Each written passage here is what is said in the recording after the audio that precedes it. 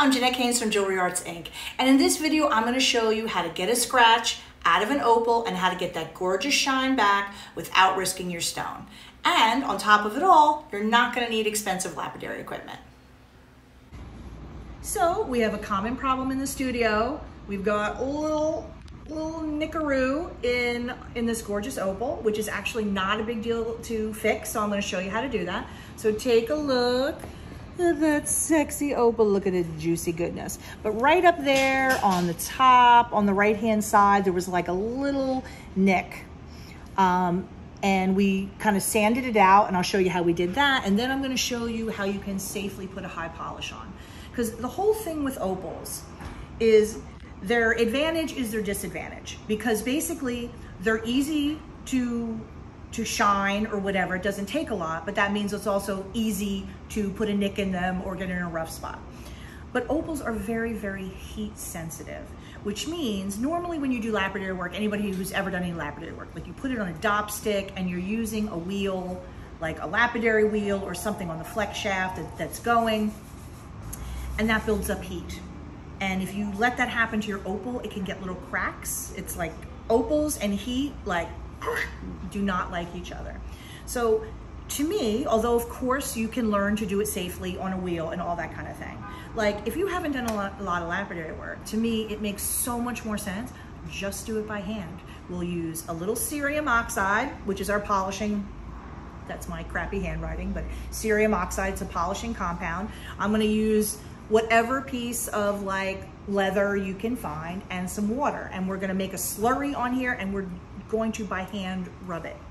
Now, the advantage of that is unless you have bionic arms, you cannot do it enough to heat up your opal. So you can't damage it. So I feel like sometimes people always like go straight to like, I'm going to the flex shaft or I need this equipment, but a lot of times actually doing something by hand is safer and more controllable. So that's what we're gonna do. Like, so we're not gonna put this on a dop stick and heat it and to put it on the, because that's also a little bit risky when you're not used to working with opals. I just have my uh, low-tech glove on, which you don't have to use a glove, but I'm gonna hold it and we're gonna polish it right on here, okay? So, just to show you though, by the way, to take out that little scratch, we used the magic sandpaper because these come in really fine grits all the way up to 12,000. So it's like, we went through, what did we, we started with uh, 8,000? Yeah, no, we start, yeah, the, the, uh, the, like the 400, which is. oh, we, so 1,500. Yeah. So we use the 1,500, which is the equivalent of like 400 grit. Um, just to take out the nick. So you don't see the nick anymore, but now it's not, you know, that's not so shiny anymore. Um, because all you do when you use this, if you've never used these before, is you literally just take a piece, you wrap it around this nice little foam guy, and it gives you a lot of control so you can smooth it right. Because what did that take you guys? Like 10 minutes. Maybe. Yeah. Because like I was going to film it, and basically they were already done by, by the time I came out. So Yeah. it happened very quickly. Okay, so scrap piece of leather.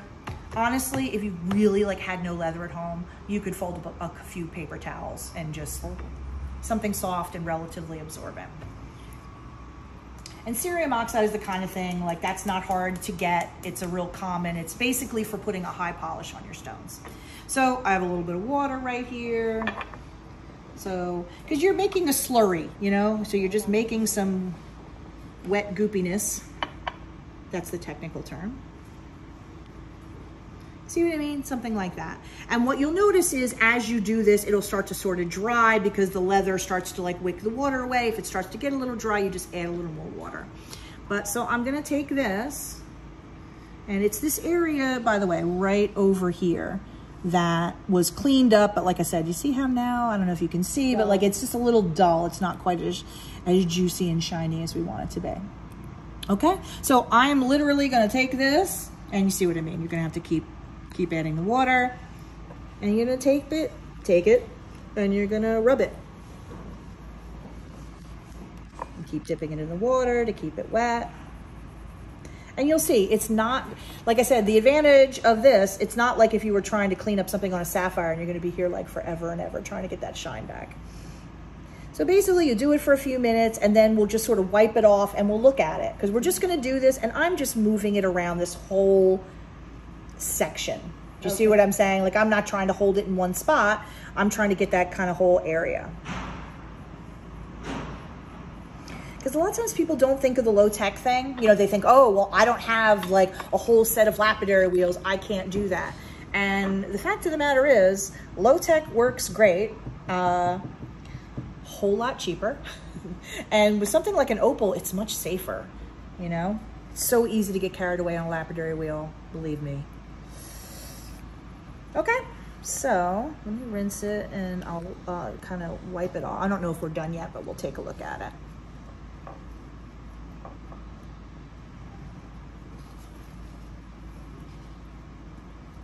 And you got to dry it because, of course, when it's wet, it looks nice and shiny, but that doesn't necessarily mean we've gotten the polish that we want. Oh, wow. See what I mean? Oh, wow, there, I'll just like rest my hand there so that hopefully you can see it. Beautiful. So like take we'll take a really good look at it everywhere. And if there's any place that's a little dull, we'll just do it. But you see what I mean? Like what did that take? Like two minutes or something like mm-hmm. that?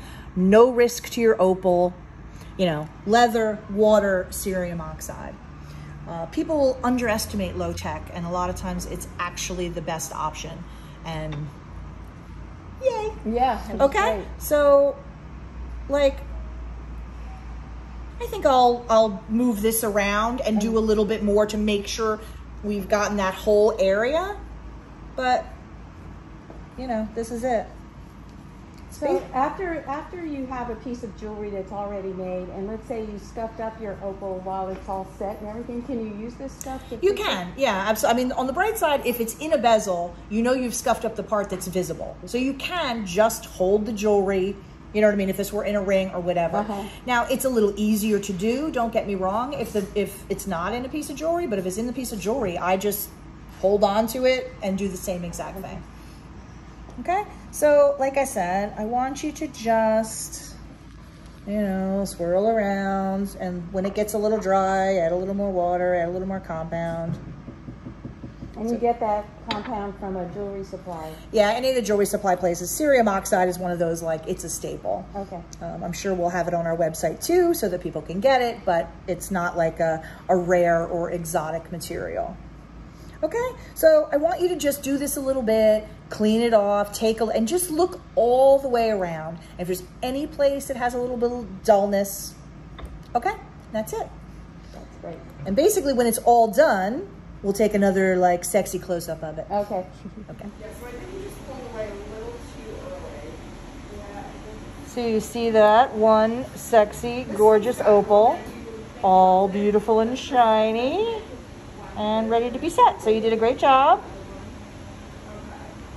Look at that baby. I'm like, mmm, delicious. See that shine? Fantastic.